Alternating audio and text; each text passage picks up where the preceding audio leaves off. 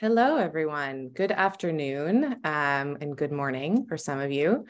Uh, my name is Adina Vogel Ayalon, and I am J Street's Chief of Staff. Uh, I will be moderating today's J Stream about the unfolding crisis in Israel and the occupied territory and how our movement is, uh, is responding. Uh, and I am pleased to be joined by J Street's president, Jeremy Ben-Ami, um, who has just returned from leading our latest Len Hill Education Program Congressional Delegation and Leadership Mission to the region, uh, a trip that included 15 members of Congress, which was our largest delegation to date. Uh, and I, I want to make sure that I have time to address all of the questions that might come through this webinar. So I will begin the discussion with, um, with my own questions with a moderated Q&A. Um, and then I will open it up to, to the questions from the viewers. So please do feel free to enter your questions into the Q&A box um, throughout the conversation. And um, also, it's a pleasure, Jeremy, to be talking through the wall to you. Um, we are all of 20 feet from each other right now. Uh, so yeah, this is very nice uh, speaking to you through the screen. Um, but all right, let's let's get started, Jeremy. Let's dive in because there's a lot to cover.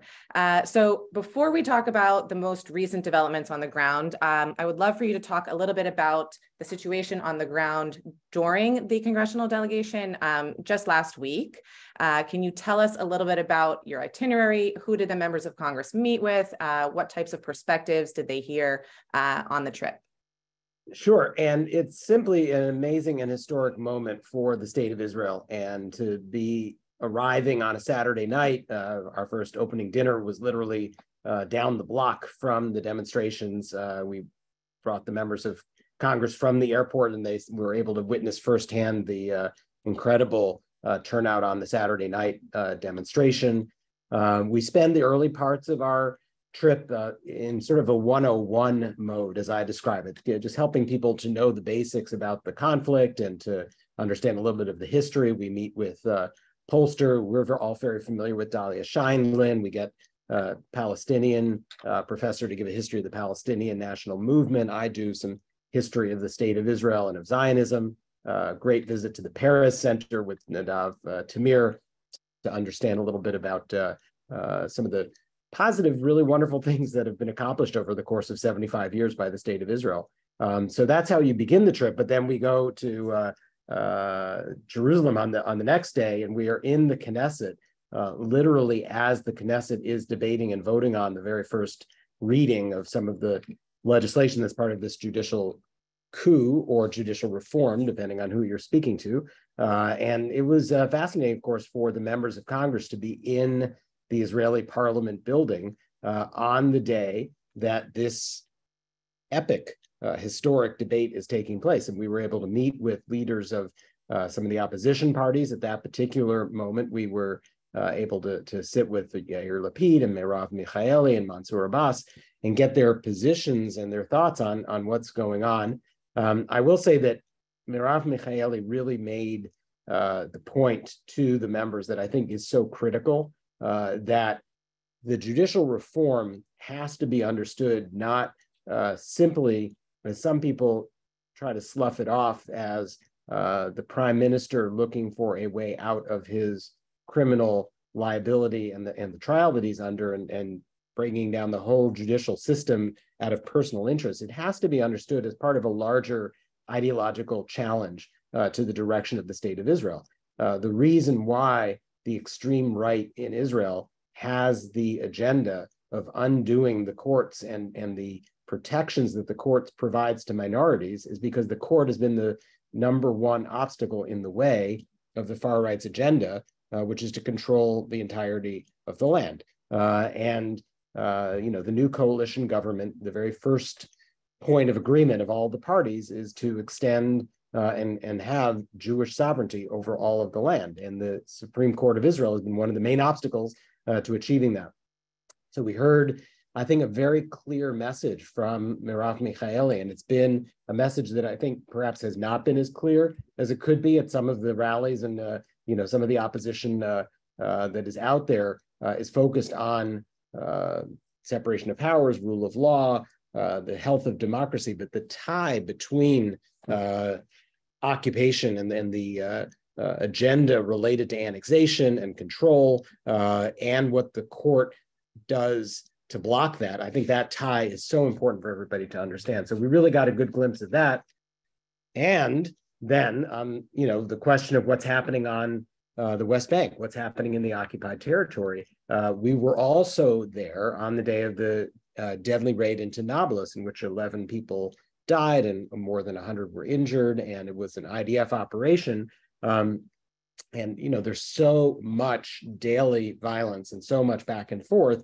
Uh, there was a uh, a killing the next day uh, in Huwara that led to then the deadly pogrom that took place over the weekend. But all of this was happening as we were there. Uh, and part of our agenda on these trips is to spend half your time inside Israel and half your time over the Green Line uh, in Palestinian territory and, and getting to know that side of the story and the people. Um, and we were forced to have to change some of our agenda because of the uh, security situation. Uh, we didn't go up to Ramallah as we normally do. We did get to see uh, Hebron, uh, and we went with uh, Breaking the Silence and uh, saw that firsthand. And we saw some of the people in the villages in the South Hebron Hills, which I think is an exceedingly important thing for people to see firsthand, get a sense of the realities and put individual stories and pictures uh, to the issues that they deal with. And, and so we did get in the midst of tremendous upheaval on the West Bank, uh, we did get to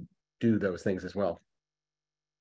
Thanks, Jeremy. Yeah, I remember um, watching the news and uh, just following, knowing where you were in the itinerary and just understanding at that time um, of the reports from Nablus, just understanding the impact that that has um, on the trip. And I think that is uh, one of the unique well, this one in particular was most unique. You were really there at the the height of um, of a lot of the tension and escalation and the point that you made, which we will come back to, because I do want to take some time to really dive into the connection and the ideological connection. And it's so important that Merav Michaeli made that distinction. And we are seeing not enough people are making that distinction. And this point of tension of whether or not to draw that line, um, as you noted, exists there within the protest movements and also exists here um, in the United States. And uh, I, I, definitely think that we have a role, uh, and we will talk about that a little further on in making that connection. So after this very packed itinerary and of course, you know, the continuous developments on the ground, uh, what do you feel were the main takeaways um, that the members had from this trip? Well, I, I do think that the number one takeaway that people come away from always, and even more so this time, uh, is just how urgent it is to have outside leadership and engagement. Uh, the United States, I think, you know, and, and we've talked about this as J Street. Um, we've said that this administration uh, has not engaged as proactively and deeply as we would like uh, in efforts to try to uh, uh, move the the conflict in the right direction. I, I, hesitate to even say resolve the conflict anymore, but you know, it, it is deteriorating so rapidly uh, and and outside help is needed to stop that deterioration. And I think that the number one takeaway for anybody who goes there to visit right now and really takes a look at what's what's happening, particularly as the security situation is devolving on the West Bank, um, understands you've got to have outside engagement. And so,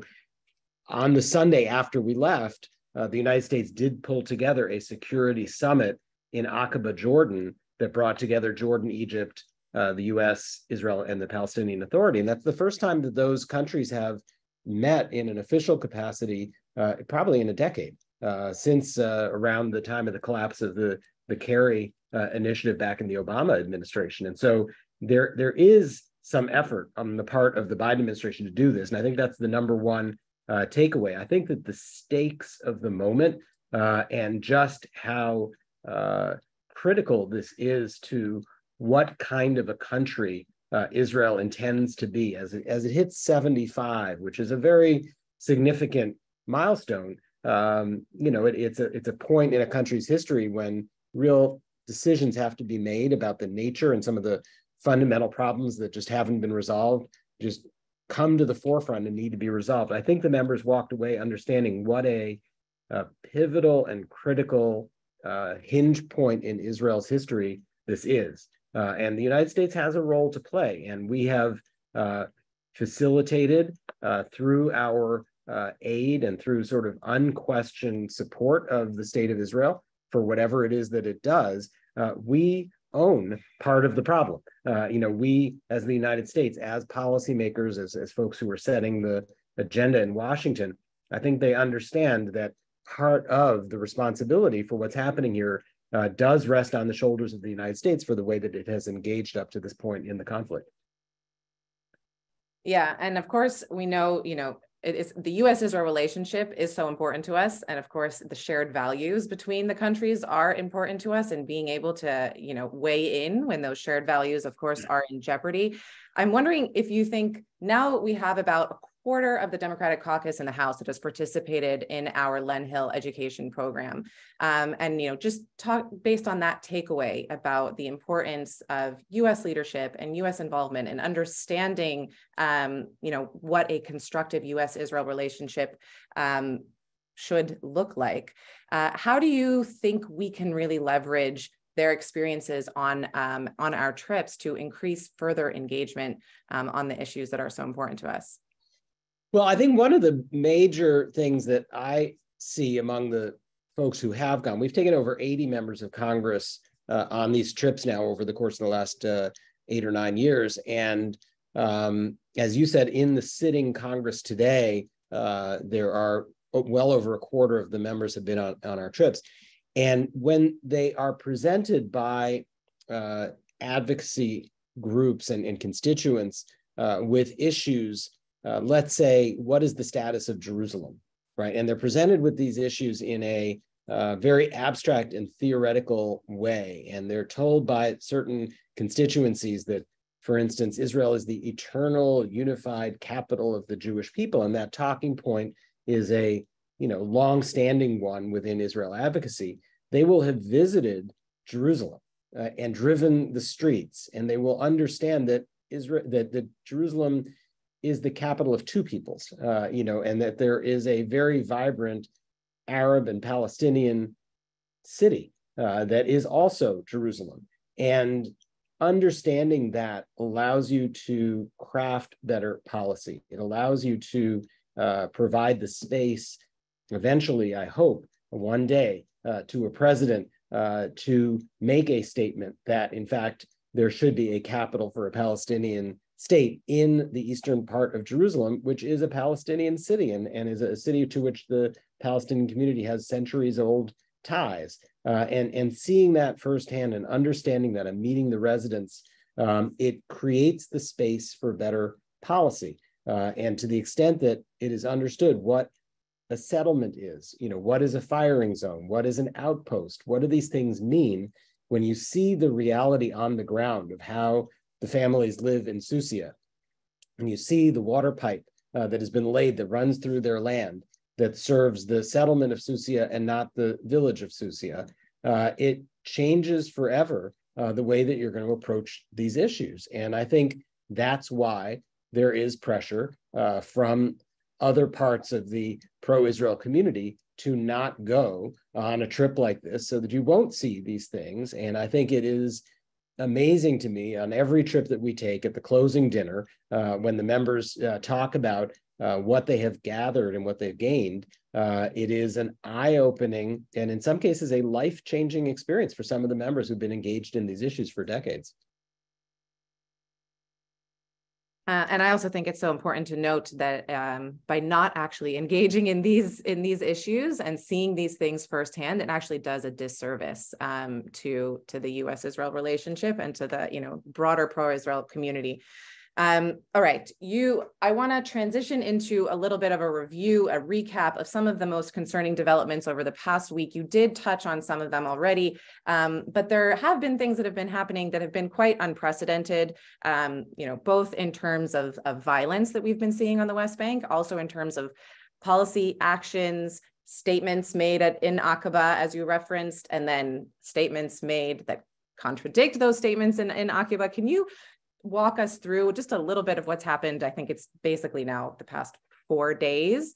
Um, and uh, and then I would I would love to ask you some follow up questions as to the connection between the two. Right. Well, the, the starting point, I think, in terms of the West Bank, let's let's put the democracy legislation and and all of the judicial issues to the side for a second. On the West Bank, I think the important thing for people to understand is just how much the security situation is unraveling in real time. Um, Bill Burns, who's the CIA director, was in Israel in the West Bank about two and a half weeks ago, maybe approaching three weeks ago now. And he was very engaged uh, in this region around the time of the outbreak of the Second Intifada. And he made a very clear public uh, statement that, in his view and based on his experience, that all of the conditions are there for the kind of explosion on the West Bank that that happened 20 years ago. Uh, there is a lack of security control by the Palestinian Authority at this point in major residential uh, centers such as uh, Jenin and Nablus. Uh, the PA security forces simply do not have control in those cities. There are places like Jericho, uh, which have never really been the scenes of uh, violence uh, and and and host to violence, and that's the city which it appears from which, uh, for instance, the most re- recent killing of this. Uh, it sounds like a, just a wonderful 27 year old Columbia student who was a dual citizen and uh, you know was killed on the road near near Jericho, and we never saw that before. And so the the collapse of of security um, and and then the uh, open incitement by leading Israeli figures uh, uh, to violence uh, by settlers uh, is again something you, have just not seen coming from official Israel before. Uh, and so these conditions, the the the kindling is a fire, and people are standing there with matches ready to light uh, all of this up, and it really is, I think, uh, you know, close to unprecedented, just how fraught that is. And that was why the security summit was brought together on Sunday. It's precisely because everybody, uh, you know, from King Abdullah to President Sisi to Secretary of State Blinken, everybody understands that this is a highly combustible situation. Uh, and a communique was signed and issued uh, by all the participants in the summit, committing to certain things. And it's simply outrageous. I would think it would be outrageous to the US government that the national security advisor of the state of Israel is signing the agreement uh, in Aqaba, and the national security minister, Itamar Ben Gvir, and the now minister within the defense ministry, Bezalel Smotrich, in real time are saying they know nothing of this superfluous summit uh, that's taking place in Aqaba and uh, you know what happens in Jordan stays in Jordan. And so um, you know this this question of who is driving the bus, you know, of the Israeli government, who's in charge, and and the prime minister keeps reassuring uh, all the delegations that meet, uh, and, and our delegation did meet with the prime minister, and, and he met with senators from both parties, and he's met with Secretary of State Blinken and National Security Advisor Jake Sullivan, and he keeps saying, "My hands are firmly on the steering wheel." And and my concern, and I wrote this in in a piece we put out just the other day. My concern is that he's sitting in the model in the showroom while the real car is being driven off a cliff by Ben Gvir and Smotrich, right? That he has his hands on a steering wheel that's completely ineffective because it's disconnected from the actual car that's driving the the state of Israel right now. And uh, um, this is, you know, a, a real problem. Um, and uh, I think you know you see uh, the concern from the regional neighbors. You see the concern here in the United States, and certainly, of course, uh, the Europeans as well joined in in and joint statements as well. Yeah, and I, you know, you mentioned incitement, um, you know, and just today, of course, we we saw the the statements coming from uh, Bezalel Smotrich uh, about uh, wiping out um, Huwara, which he then tried to walk back. Um, but I think it is very important to understand that those statements, including prior rhetoric, have really given, you know, the wind beneath the sails of those that are perpetuating um, very violent attacks uh, against Palestinians uh, in the West Bank. And Huwara was unprecedented in, in its scope and size um, and has been called a pogrom. Uh, but that does not mean that, of course, that these attacks are not happening on a very regular basis um, throughout the West Bank. Uh, and there's even, I think, a State Department report that was just released specifically on 2021 uh, documenting um, right. this type of violence. And it's very clear, as you mentioned, what are the sources of those that are giving um, support and backing to the individuals that are taking, you know, rule of law into their own hands. Um, so just you know going back to the biden administration and you noted you know specifically that they are are very focused on trying to prevent further escalation and we have commended them on you know their recent attempts to do so. Um, you've also alluded to the fact that you don't feel that it has been um, and has been enough. Uh, what do you think the the biden administration should be doing um, and saying at this time so another thing, I mean, this has just been so much happening over the course of these last two to three weeks. Uh, another thing that happened in the midst of all of this was a UN Security Council meeting. There's a standing monthly meeting.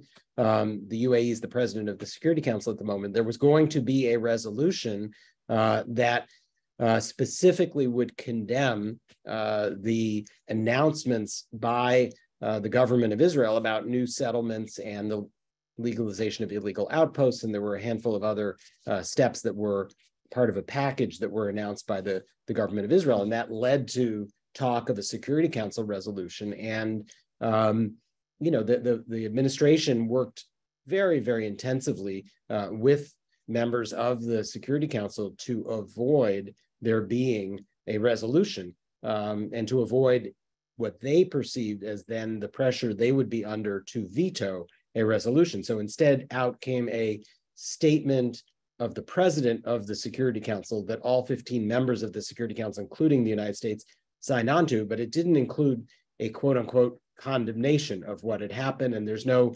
consequences. And I think, you know, J Street has for a dozen years now uh, been very clear that uh, one of the things the United States needs to do is to stop providing a diplomatic immunity, essentially, uh, to the policies of the government of Israel that violate international law. Uh, you know, it is very clear that for decades, the international community, and it used to be the case that the United States viewed what is happening on this territory that was won in a legitimate war uh, in 1967, that what's happening there is illegal under international law, whether it's the settlements or the treatment of the uh, population that lives there, uh, these this is not living up to the obligations of the Geneva Conventions, and so that is something that uh, the United States really needs to reconsider uh, its policy. And this administration, um, you know, in J Street's opinion and in many other uh, commentators' opinions, including former ambassadors to the State of Israel from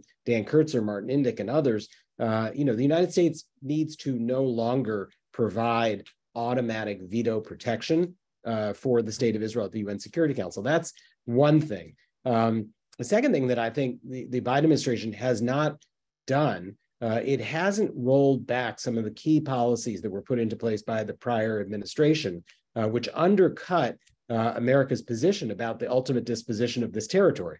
Uh, the notion that there is a legal distinction between the territory that Israel occupied and the state of Israel is really important in our own law.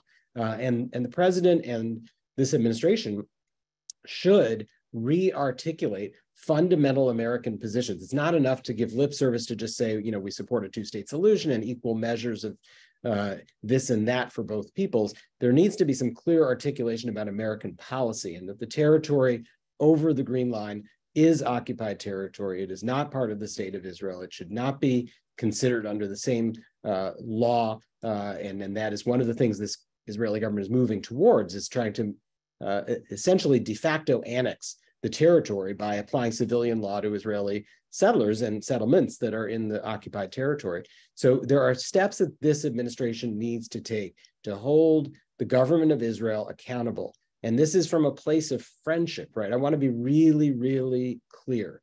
When J Street says these things, we, we say these things because we care deeply about the state of Israel and we care about the people of Israel. We want the state of Israel to be a democracy that is secure and that has a Jewish nature and a Jewish character. And the only way it can do that is if the Palestinian people have a state in which they have their own national self-determination living next door to, to Israel. And that's got to be reaffirmed as the core basis of American policy.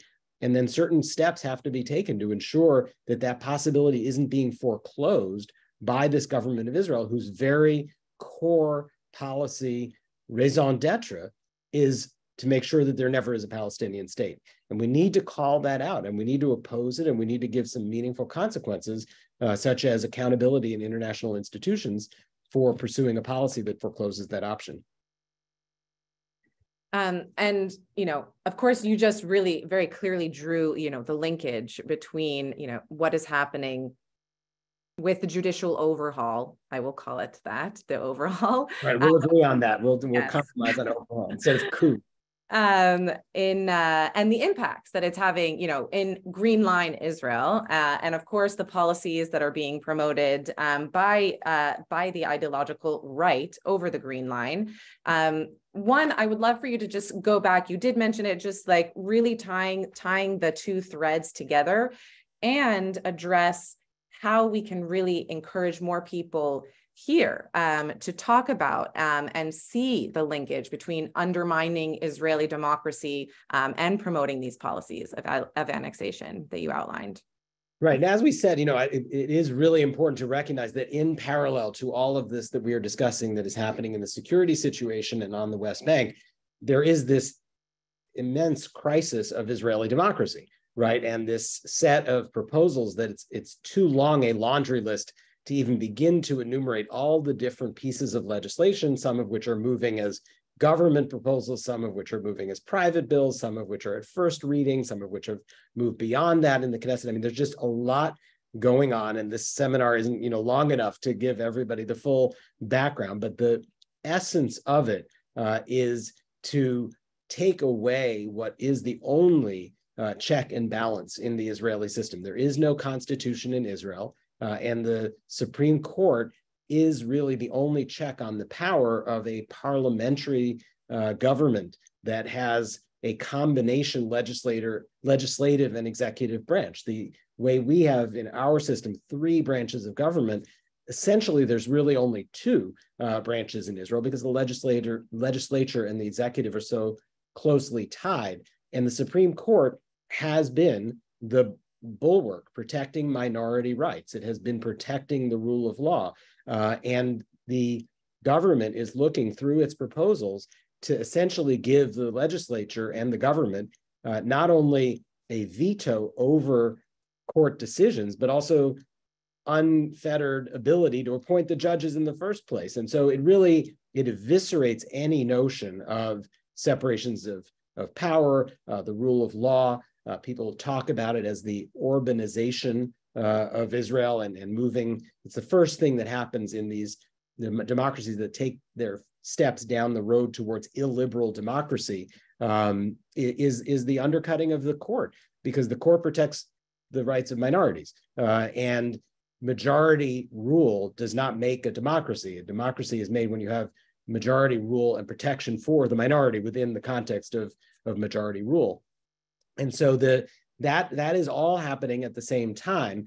And that is what is leading to tens of thousands of people maybe hundreds now of thousands of people in the streets of israel is the concern about what's happening to our democracy and the protections that are provided whether it is to uh, you know the uh, Palestinians on the West Bank, which is not the central concern of the people in the streets of, of Tel Aviv, but it could be, uh, you know, the status of women, the status of the LGBT community, the status of the minority of Arab citizens within Israel. It's it's all of these communities and, and the rights are at risk uh, because of the proposals that this government's put out there. But you have to ask yourself why. Why is it that the extreme right in Israel has the Supreme Court in its sights? Why, why are they doing this? And uh, you cannot answer that question without understanding the fundamental ideological purpose on the far right, which is to control all the land from the river to the sea uh, and, and to put it under the sovereignty of the Jewish state. Uh, and it is a continuation of the Jewish, of the nation state law uh, in 2018. And this idea that uh, there will be one state and that one state uh, is going to have a Jewish nature uh, and that is going to overrule the democracy. So I think it's it's it's absolutely vital uh, that as all of us who are engaged in opposing uh, these judicial reforms are holding rallies and giving speeches and briefing our synagogues and briefing our communities on what's happening, that the connection be made to what is happening on the West Bank and, and to the agenda of annexation, de facto, de jure. But you know, it is not a uh, you know an urban legend. This is not conspiracy theories. This is the first line of the coalition agreement. Uh, you know that there is a right to exclusive Jewish rule between the Jordan River and the Mediterranean Sea. And it's right there in black and white in the coalition agreement. And so I think it's really important to tie these together. Uh, J Street certainly will do that at every chance that it can. But, you know, we see for tactical reasons that, that there are people organizing rallies and, you know, doing the work in Israel and here who say, let's not bring, you know, the occupation into this. Let's not raise the Palestinian issue, but you can't understand why this is all happening. Uh, and it's a moment of education, I think, too, for the American public and the American Jewish community about how all this is tied together.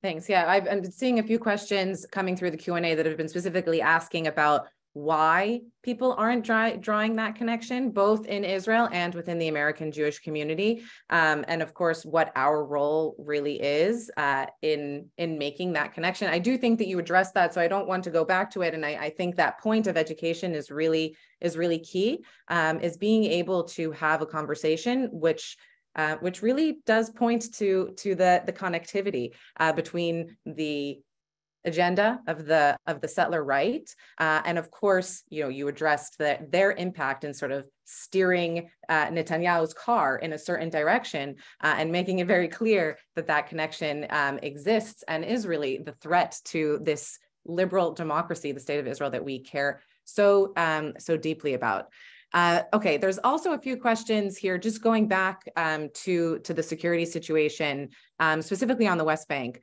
Uh, what do you think uh, the role of, uh, of the IDF, uh, the Ministry of Defense, should be uh, in, in addressing the situation on the West Bank? And, and if you would like to also add in, um, what do you think, what, what have you seen so far? What have you been hearing perhaps when you met with the IDF also um, in the most recent delegation? Well, you know, one would hope that the leadership of the IDF would remain 100% committed to the obligations of an occupying army uh, in the territory that it is controlling, uh, which is to take care of the people who were living there when you took control. That's the fundamental obligation under international law. Um, and so when settlers threaten Palestinian olive trees, people, villages, property, uh, the, the notion that the IDF uh, should be protecting the people and the property who were there before the IDF was there. Uh, that is their obligation. And, and when you speak to some parts of the IDF command structure and some parts of Israel's government, there is acknowledgement of that. But I think that the reality is that the army has not, the IDF has not fulfilled that responsibility. And I think that's a real issue that the United States should be raising. I know that uh, uh, the Defense Secretary Lloyd Austin is headed uh, to Israel next week uh, and will be meeting with Yoav Gallant. And I think, you know, we provide $3.8 billion a year uh, in security assistance to the state of Israel. And I think that it is a perfectly legitimate uh, point for the United States to be insisting that the IDF uh, take a stronger role uh, as, with regards to settler violence. What we hear when we visit, and we ask this question on the ground, uh, we hear from some elements of Israeli security services and from the government that Palestinians should turn to the police uh, for help. Right. And that these are civil matters. And, and if you have a problem with an Israeli citizen who is doing something, then you should call the police. Uh, and, and to tell a Palestinian villager to go to the nearest settlement, knock on the gate, and ask to please come in and go to the police station to file a complaint against a settler, I think is not, you know, a, a realistic, your feet are not firmly planted on the ground if that's the way that you are approaching things. And I think it's really an important, again, piece for the United States, given that we are providing so much assistance to ensure Israel's security, to ask that that assistance be used in compliance with international law is not out of line. Um, and also summarizing some of the questions that I've been seeing in the chat, um, you know, specifically taking it back to the action um, of what members of Congress can do. Um, and, you know, you mentioned some of the things that were um, meaningful to them and some of the things that you would like to see coming out of the administration. What's the role of Congress? What kind of action can we see um, and what kind of actions do we hope that our trips inspire members of Congress to take? Well, the the way that I always describe it, and, and some of the folks who are on this briefing have probably heard me say this now for 10 or 15 years. Uh, you know, the the Congress creates the political atmosphere within which American foreign policy is set. Uh, the president of the United States and, and the State Department, Defense Department, et cetera, they have the majority, overwhelming majority of the toolkit for making American foreign policy. But the constraints on what the president and the Secretary of State and other diplomats feel they can do are almost always political. Uh, you know, and they are almost always, well, if we do such and such, then we will never hear the end of it from Congress, right? And we will get so much pressure from Capitol Hill over doing X or Y or Z. So the single most important thing that members of Congress can do is to put wind in the sails of the administration uh, to show support for American action and leadership and for uh, bolder steps by the Biden administration uh, to engage here at this really critical moment. If you are a friend of the state of Israel, Congress should be saying to the president, and in fact, there's a letter circulating right now in Congress from uh, Representatives uh, DeLauro, Schakowsky, and McGovern. I would note that those three members, very senior Democrats in the House, were the three leaders of three of our most recent congressional delegations out of the four uh, you know, that we've done since COVID. Uh, three of them are Rosa DeLauro, Jan Schakowsky, and Jim McGovern were the senior members of their delegations. And this letter is urging the administration to act, uh, you know, and to take bolder stands and to be more forceful. And I think that's the number one thing to to make it clear that Congress and the allies of the president in Congress are not urging him to do less; they're urging him to do more. And that is the fundamental role that they can play is to create a better atmosphere for American policymaking. There is the power of the purse. Uh, Congress is uh, in charge of money uh, and spending. And the question of what is the oversight that we give to the aid that we provide, the questions of how is our aid being used, uh, you know, if a Palestinian village is being uh, demolished or there are evictions taking place, are soldiers being equipped with the arms that we've bought? Right? That is not okay. This is not advancing American policy. And so Congress can do much more uh, to oversee and provide accountability and, and oversight and, uh, uh, you know, ask the, you know, right questions about how our aid is being used. So those are some of the things we can do. I think it's very, it's wonderful when Congress provides a spotlight on a particular village or a particular uh, settlement expansion project that would be devastating if it advanced. And that international spotlight, Congress, the EU, the UN, others, it means that the Israeli government often stops doing some of the worst of the things that it might be considering doing uh, because of the spotlight. And so those are some of the things that Congress can do. Thanks. And you mentioned aid and accountability, and I'm going to shift to another series of questions or a common thread that I'm seeing in the Q&A, um, which is uh, the role of the American Jewish community and the, the funding and support that's coming from the American Jewish community. How much influence do you see, one, in terms of the American Jewish community's role in what is happening in policymaking in Israel, um, and two, influencing um, what's happening here in terms of policymaking coming out of the United States? So I think it's really important for the folks listening to this to understand that when this new government in Israel came into office and the justice minister walked into his office on day one and appointed a director general to his ministry, that that director general came out of an Israeli NGO that had an entire legislative agenda already drafted, all the work done to write the bills that would undercut Israeli democracy. What is that Israeli NGO? That Israeli NGO is called the Kohelet Policy Forum. where does the money come from for the Kohelet Policy Forum? It's American 501c3 tax preferenced dollars, right? And the American Jewish community is funding the very institute that wrote the legislation that's going to undercut Israeli democracy.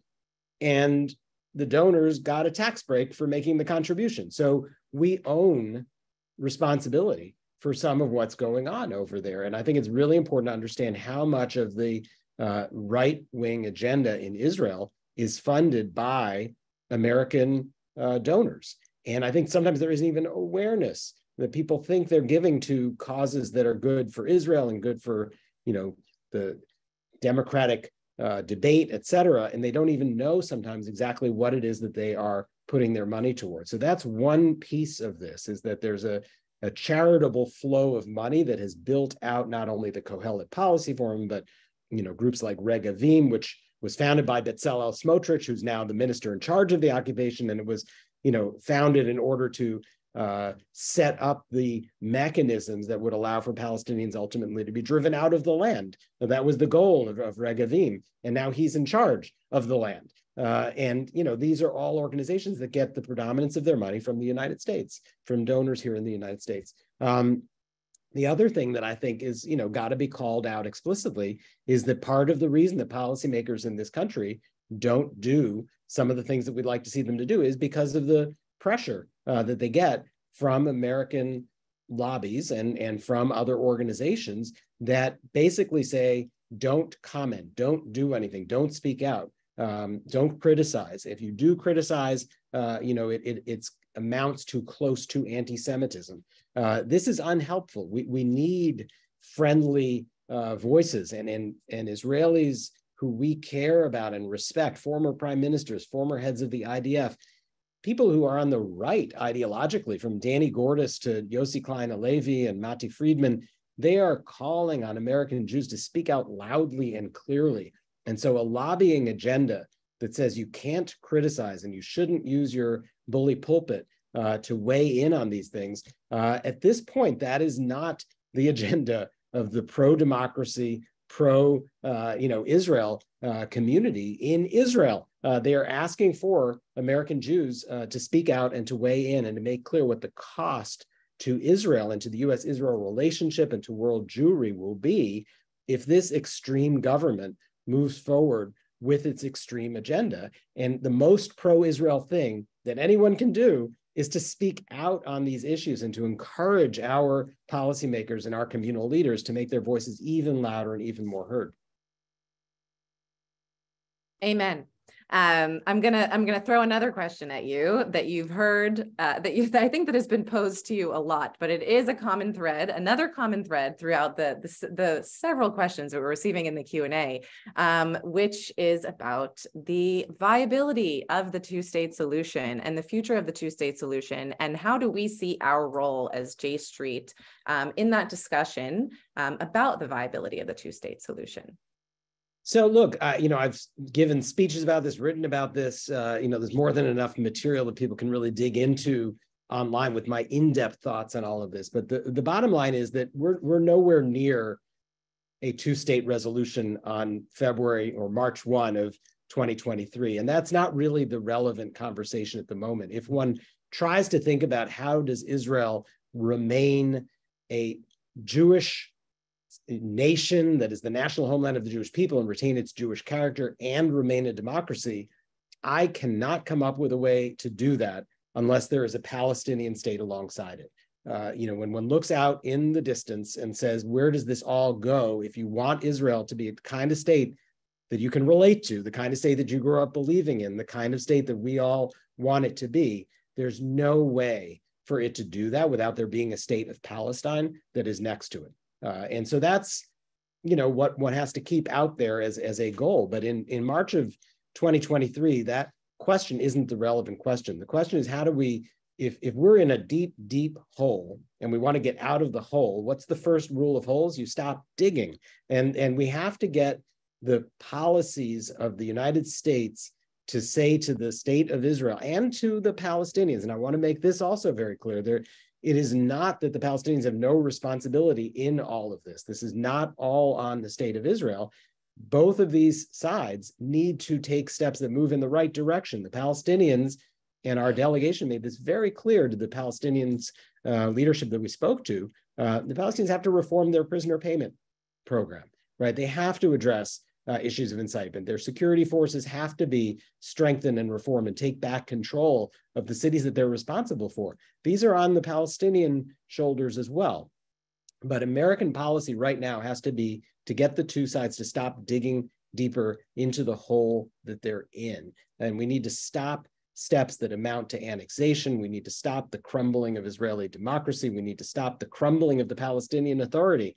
Uh, we, we can see a path where the normalization of the state of Israel's relations with its Arab neighbors uh, is a potential engine to help bring about steps that move in the right direction. There's an incentive that the state of Israel has to do things that allow Oman and Kuwait and ultimately Saudi Arabia to begin to normalize relations. And part of that has to be how do you begin to take steps that are positive for Palestinians? And, and let's let's harness that to move in the right direction. So I'm not saying that the two-state solution, uh, you know, is imminent, and we're not going to call a diplomatic conference to discuss it tomorrow, but it remains the the, the idea of two independent nation states, one the national home of the Jewish people, one the national home of the Palestinian people, it remains the only viable way out of this conflict. Thanks, Jeremy.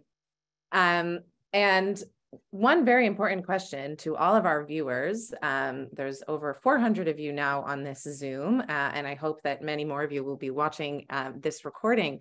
Uh, what do you see as the role of all of us all of us all of our viewers you know our movement throughout the united states what can we as individuals be doing well i think you know we we first of all are constituents of our elected officials right and so j streets as an organization our little piece of a very big puzzle uh, is what are the messages coming from our community people who care very deeply about Israel and who care about our Jewish community, who care about our Palestinian friends and neighbors. Uh, you know, what are the messages we are conveying to our elected officials? And the number one thing that we can all do is to make sure that we are constantly in touch with those elected officials, that we are organizing our efforts to, to make sure they understand that the majority, overwhelming majority of Jewish America is deeply, deeply concerned about what is happening right now, and that we want to see American policy that is leaning in, not pulling back. Uh, and, and as constituents who are helping to shape American policy, that's our number one goal. Number, number two, there's lots and lots of incredible Israeli organizations and incredible Israelis who are in the streets and who are in the courts and who are in the, the political process who are fighting for the future of their country. Uh, and we can support them. Uh, you know, and for some, that's going to be financially. I mean, I, of course, highlight our close partners like, uh, uh, you know, the New Israel Fund and, and Americans for Peace Now, both of which are supporting elements of Israeli society. But there's so much more out there. There are so many ways to be supportive of the organizations, the movement for quality government, uh, Israel Chofshit. Uh, you know, there's a whole series of, of organizations that are out there that are very much engaged in ensuring the future of Israel's vibrant democracy. Um, and so that's a second thing that we can do. We, we can support and, and make our voice heard in our own system, and then we can support the Israelis who share our values. This fight for democracy, we know it all too well uh, here in the United States, right? We are experiencing it ourselves. We have an extreme right wing, ethno nationalist, populist movement that threatens our own democracy. And so we understand very well the forces that are threatening Israeli democracy. And we can support our partners, the people having the exact same fight over there about their country are the people we should be supporting. And so those are two things. I would say one final thing, which is push our synagogues and our community centers to open up to have a vibrant conversation about all these issues. I just cannot stand how much I hear over and over again. My synagogue doesn't want to touch the Israel issue, right? We can't have an open conversation about these issues. We've got to. It's so un Jewish and it is so unhealthy to shut down debate and, and argument. And, and let's have that discussion. Let, let's actually discuss these issues and understand how important it is for American Jewish identity here at home, what happens over there.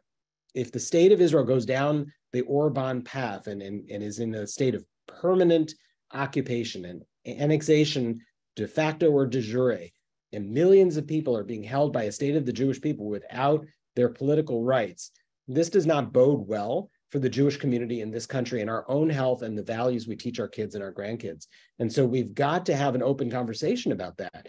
So lobbying and engagement and support uh, in the policy making and political process in this country, supporting our partners who are working for these values and goals over there, and ensuring that our communal institutions are opening up the doors to this debate and to this discussion rather than closing the doors. And I think very importantly on the last point um, about the communal discourse, and and you know this touches on also some of the questions here in terms of there has been a variety of different American Jewish organizations that have been speaking out, notably about the judicial reform or overhaul um, and and been vocal in a way that has pretend has been unprecedented for some of these organizations. Uh, but I think what is so crucial in noting that is the distinction that you made about making the connection between what is happening and the impacts inside the green line to the impacts over the green line. And part of our responsibility is making sure that when we are having these conversations, that that type of connection is being made um, with this space that has been opened up by American Jewish organizations all of us that care deeply about the future um, of Israel. Uh, and you know, also noting here a question about you know what do we do, right? All of us in the pro-Israel community, if these judicial bills pass, um, where I, I want to kind of perhaps close on that note. Where what is our role? Um, and you did mention our support for our allies in Israel, but what is our role in the pro-Israel community that care also so deeply about democracy and peace um, if we see this overhaul go through? Right. Well, I think one of the things that that people keep saying is, you know, they're sort of throwing up their hands and, and quote unquote giving up on Israel. Um, Israel's going to continue to exist. Uh, you know, it's it's going to be out there in whatever form it chooses, because the people of Israel will choose their leaders. The leaders will set the laws, and then you know the country will run itself the way that it chooses to run itself. And millions and millions and millions of Jewish Americans and others who care about Israel will continue to live in this country, and there will continue to be a need to have some form of relationship. Uh, you know, and it may be uh, that that is uh, you know, a place that we cannot relate to, but we're going to have to explain it to ourselves, right? We're going to have to come to grips with it if American Jewish communities are going to thrive and survive and move forward, we're going to have to have an open discussion about how the things that are happening over there are inconsistent with the values on which we raise our children and our grandchildren, right? The, the, the ideas of what it means uh, to, to have power and treat minorities with respect and with equal rights. That's what we fight for in this country because we're a minority right? And if we're going to be true to that, we're going to continue to advocate and argue with a, a state of Israel that goes down an Orban, uh, Hungary, Poland kind of path. And, and we will continue to say we, we love uh, the state of Israel, we love the people who live there, uh, and we adamantly disagree with the course that they choose to go down if that's the road they choose to go down. And I think that unfortunately, uh, you know, a fair number of Israelis who live there now uh, will agree with us on that. Uh, and, you know, we'll see whether or not the pressure of the exodus of capital, the exodus of high tech, the, uh, you know, other forms of movement that I think would happen if Israel goes down that road, maybe that will be enough uh, to begin to pressure the government to reverse course.